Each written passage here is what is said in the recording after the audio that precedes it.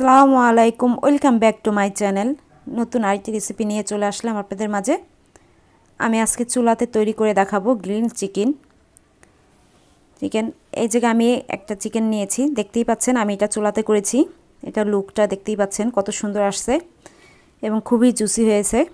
তা আমি কীভাবে তৈরি করেছি সেটাই আমি দেখাবো। আমি কীভাবে নিচে তৈরি করি ঘরে ঘরে সবসময় সেটাই আমি আপনাদেরকে দেখাবো। তা চলুন মূল উপকরণে চলে যাই। তা আমি এই জায়গা লং নিয়েছি, ছয়টি ছয়টি লং দিয়েছি। আর কাবাব চিলি নিয়েছি দশটি। দশটি কাবাব চিলি, স্টার অ্যানিস এই জায়গায় আমি দুই পিস নিয়েছি। দুই পিস নিয়েছি। এটা অনেক স্ট্রং এটা গন্ধটা। আর এই জায়গায় শাহি জিরা নিয়েছি, চার চামিচে হাফ চামিচ। গোলমরিচ নিয়েছি আস্ত, এক চামিচ। মিষ্টি জিরা। গৌমরি, এটা হাফ চামিচ। রাঁধুনি, এটাও হাফ চামিচ। জিরা, এটা হাফ চামিচের তো কম। আর দারচিনি নিয়েছি দুইটা, এলাচ নিয়েছি চারটি, আর একটি পিপল নিয়েছি আমি এই জায়গা। তা আমি সমস্ত উপকরণ একসাথে ব্লেন্ডার করব। ব্লেন্ডার করার পরে এবং পেঁয়াজগুলি একসাথে দিয়ে ব্লেন্ডার করে নিব। এই জায়গায় লেবুর রস নিয়েছি আমি। যা দরকার পড়ে সেটাই দেবো পরিমাণ মতন। আর পেঁয়াজ। তা পেঁয়াজটা আমি একসাথে এগুলো ব্লেন্ডার করব। আগে এটা কিছুক্ষণ করার পরে, গুঁড়ো হয়ে যাওয়ার পরে তারপর আমি একসাথে পেস্টটা দিয়ে দিব। তা আমি এগুলো করে নেই।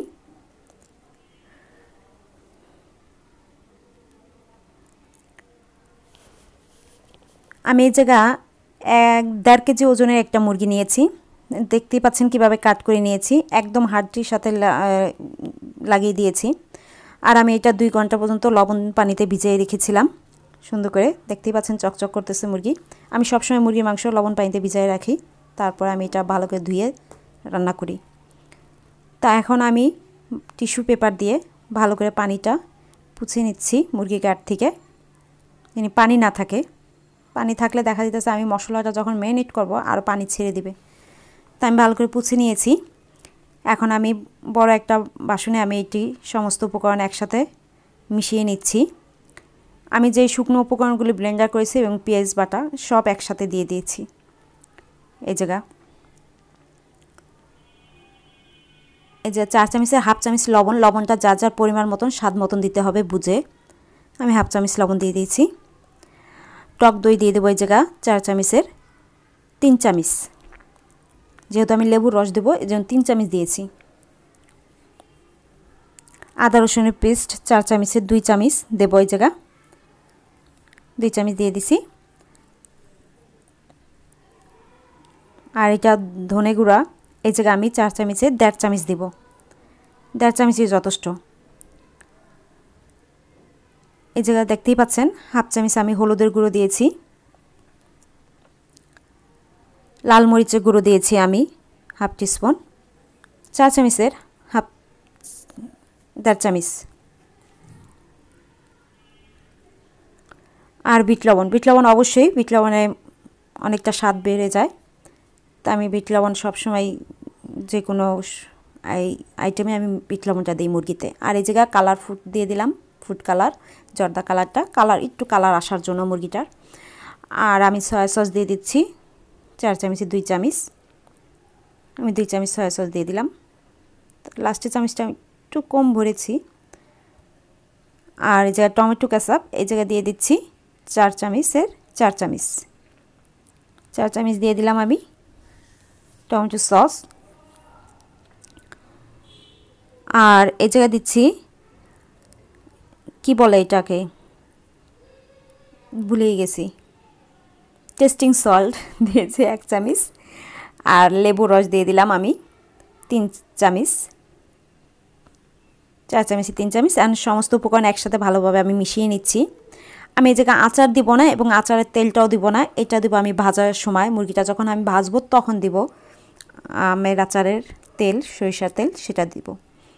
তা আমি সমস্ত উপকরণ একদম মাংসের যেই জায়গা আমি কাট করে নিয়েছি, সমস্ত উপকরণ সেই জায়গায় আস্তে আস্তে ভরে ভরে দিচ্ছি।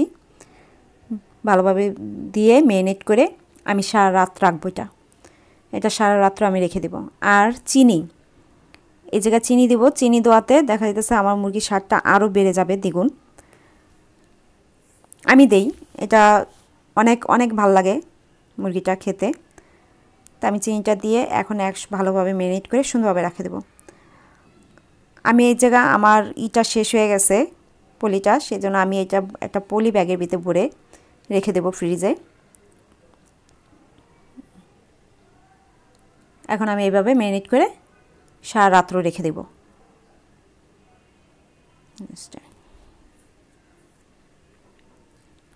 তা আমার ম্যারিনেট করা হয়ে গেছে, দেখতেই পাচ্ছেন, সারা রাত ম্যারিনেট করে রেখেছি। তা এখন আমি মুরগিটা ভালো করে আবার মাখিয়ে নিয়েছি। তো এই তেলেই যথেষ্ট, তাই মুরগিটা দিয়ে দিলাম। আমি চুলা কমাবো না, চুলা বাড়িয়ে যেহেতু আমার দেড় কেজি ওজনের মুরগি, এটা খেয়াল রাখবেন। মুরগি কিন্তু, ফার্ম মুরগি কিন্তু দ্রুত সিদ্ধ হয়ে যায়। সময় লাগে না।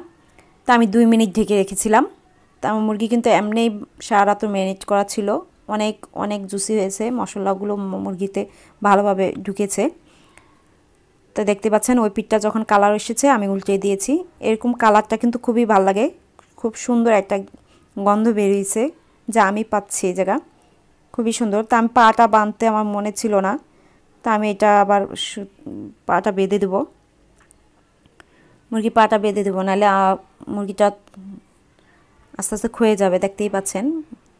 তা আমি আর ঢাকবো না, পুরো চুলা বাড়িয়ে যদি ঢাকা দিয়ে ই করেন মুরগিটা ফ্রাই করেন, তাহলে কিন্তু দেখা যাচ্ছে মুরগিটা পানি বের হয়ে যাবে। তা আমি চাচ্ছি না মুরগির থেকে পানি বের হয়ে যাক কেন আমার মুরগিটা জুসি থাক, সেটা আমি চাচ্ছি। তা আমি এভাবে উল্টে উল্টে ঘুরে ঘুরে পুরো মুরগিটা আমি ভেজে নেব।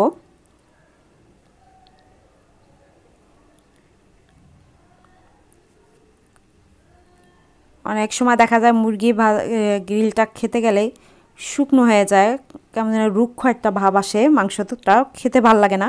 কিন্তু আমার এটা একদম জুসি হয়েছে, খুবই সুন্দর খেতে এবং সবাই খুবই মজা পেয়েছে খেয়ে এটা।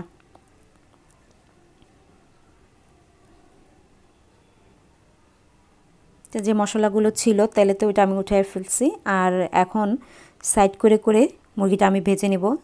মুরগির কালারটা জিনিস খুব সুন্দর একটা লালসা কালার হয়ে আসে, দেখতেই পাচ্ছেন কালারটা কত সুন্দর হয়েছে। তা আমি ওই পিঠটাও ঘুরিয়ে দিব।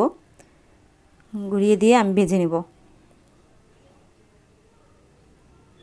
আমি আর ঢাকাই দিব না, যা ঢাকিয়েছি একবারই দিয়েছি আর আমি আর ঢাকবো না। এভাবে আমি ভেজে নিব। আমার মুরগি কিন্তু সিদ্ধ হয়ে গেছে অলরেডি এটা আমার আচারের তেল, আমের আচারের তেল। এখন আমি যেই কাট করেছিলাম, সেই কাটের মাঝখানে মাঝখানে যে যে কেটে দিয়েছিলাম মুরগিগুলো, ওই ওই মাছের মাঝে আমি সরিষার তেলের আমের আচারের তেলগুলি দিয়ে দিচ্ছি।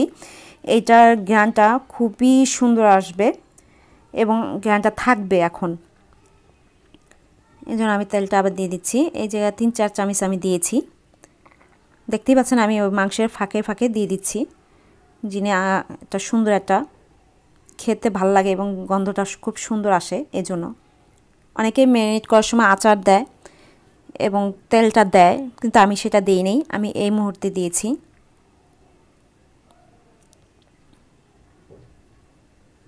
আমি আস্তে আস্তে সুন্দরভাবে কালারটা আনব। দেখতেই পাচ্ছেন, আমি ঘুরে ঘুরে সুন্দরভাবে কালারটা বেজে নেব। পুরো সাইডে মুরগিটা সুন্দর করে ভাজা হয়।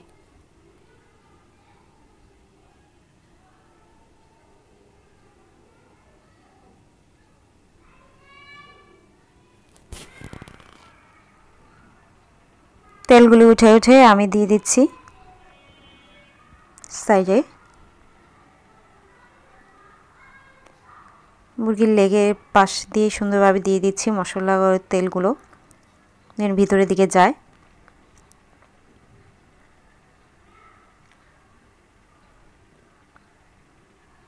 মুরগি কিন্তু সিদ্ধ হয়ে গেছে অলরেডি আমার। দেখতে পাচ্ছেন, খুব সুন্দর একটা কালার আসছে। হয়ে গেছে আমার মুরগি ভাজা। আমার মুরগি কিন্তু হয়ে গেছে, ভাজা হয়ে গেছে এটা।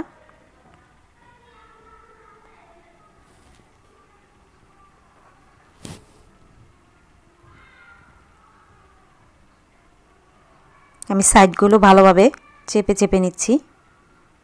ভালো করে।